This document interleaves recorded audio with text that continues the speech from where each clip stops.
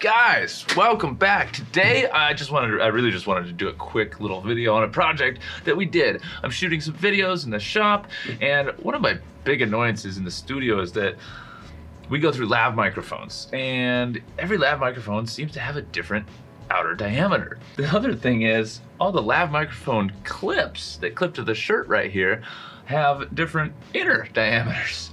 So I've resorted to everything from little strings of tape to like just taping it on and a lot of different ways to get the different microphones to work. And today I said, no, screw that. Let's let's make something, let's make a permanent fix because I got a bunch of these little cheap clips and they're all the same. And I've got these microphones and we have 3D printers. We're a 3D printing company and we have CAD designers. Let's go. Okay, so all we really needed to do was to measure the outside of the microphone and make a sleeve to go over so that the clip could go onto it. Now this is such a small part that I knew it could be printed in like two minutes uh, out of any material because it doesn't need super high temp or super high strength. It's literally just a little sizing thing. So I said, hey Dan, let's go. Let's do this. I need a small little sleeve to put over this microphone. Now you can see the way the microphone goes together is you've got the little the windsock here and then it's just a cylinder like this. So I'll take this off and basically all we had to do and you could do this in any CAD program. We just measured the outer diameter of the mic. And then we measured the inner diameter of the clip holder. And then he made a sleeve matching the inner and outer diameter. And you could do that in Tinkercad. You could do that in SolidWorks. You could do that in Fusion. Literally anything to make a 3D model, you could do that in. We don't even have to get into 3D scanning this because it's so simple. It's, it's a circle.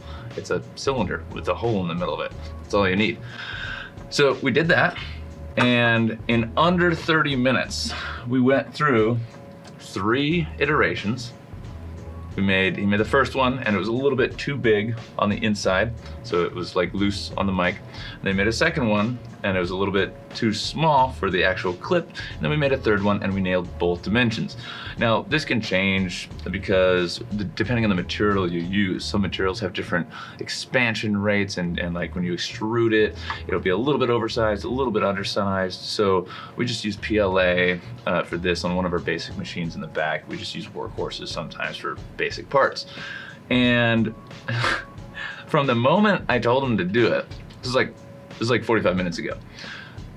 Within 30 minutes, he had gone through three renditions, and I now have a perfectly fitting sleeve for the microphone.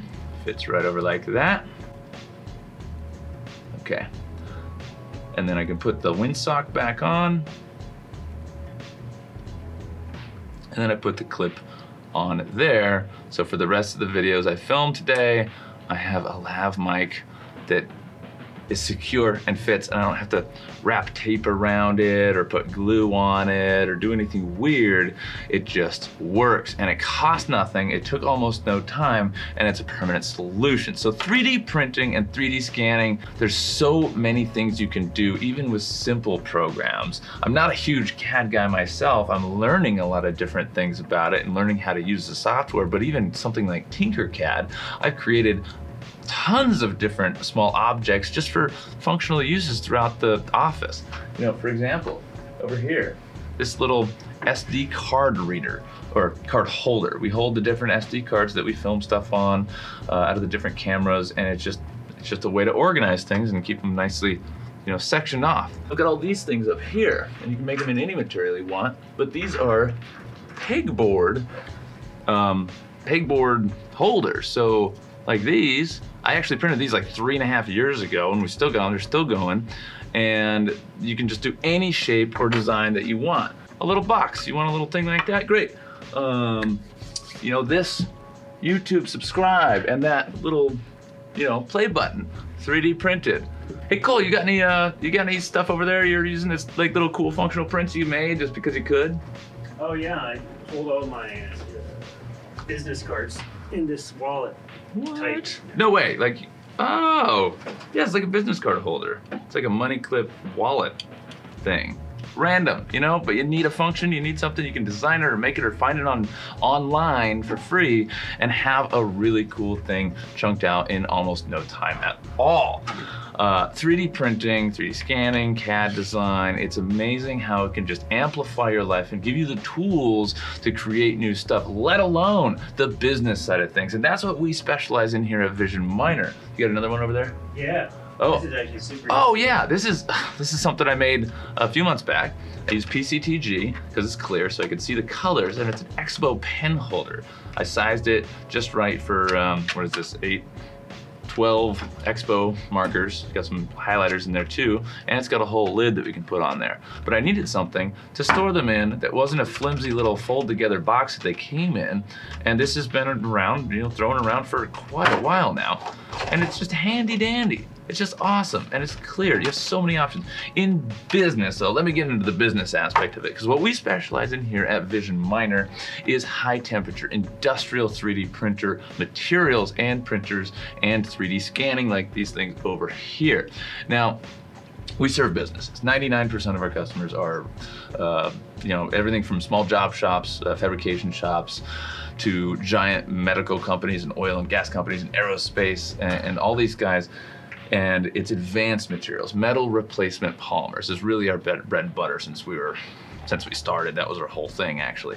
Now we've expanded and we have other types of printing technology. We have other types of, you know, additive manufacturing related technology, a la 3D scanners and just the techniques and the experience we consult. We basically help people get into 3D printing and use it in their business in a way that will make them money. So you're gonna buy a machine, but then that machine is gonna pay for itself over time. Sometimes in a week, sometimes in a month, sometimes in a year. Sometimes they're just doing it for fun, like my good buddy Jeff, who's making RC jet engines in his garage. He's a retired engineer. He's doing amazing stuff. But then you've also got other big companies that are doing in, vit in vitro fertilization vials that are going into cryo chambers full of liquid nitrogen. Then you've got nuclear reactors and you've got aerospace parts and rocket nozzles Integza. If you want us to print some stuff, hit us up.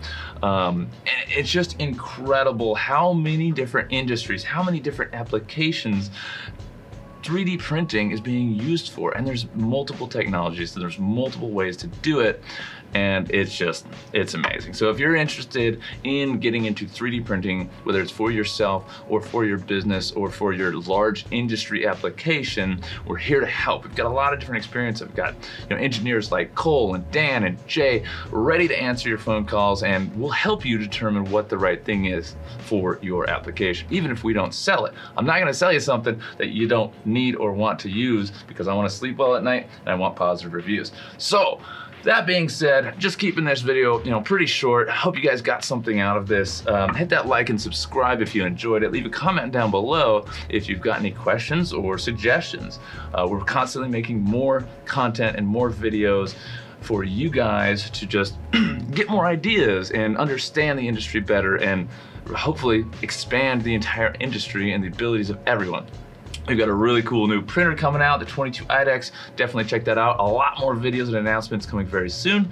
We've got tons of videos on 3D scanners, 3D printing in general, and a plethora of other things. If you've got any questions, hit us up, give us a phone call, or shoot us an email. We are here to help, and we love what we do, and we love hearing from you guys. So with that, thank you so much for watching. Have a positive rest of your day, and I'll see you on the next video.